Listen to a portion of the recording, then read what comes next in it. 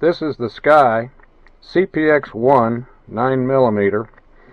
Nice little pistol. I'm going to show you how to tear it down real quick so you can clean it. The gun has got no uh, clip in it. She's empty. And I'm going to use the lock to lock the slide. I'm going to use a 9mm bullet to pull the pin out. Now I'm going to release the slide, slide it off. Take out the spring. Remove the barrel.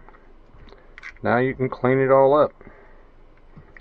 As soon as you're done with your cleaning, slip the barrel back in. Slip your spring back in right on that landing there. You can see the pin there.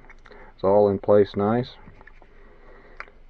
And place it back on the slide. Again, we're going to lock it in place.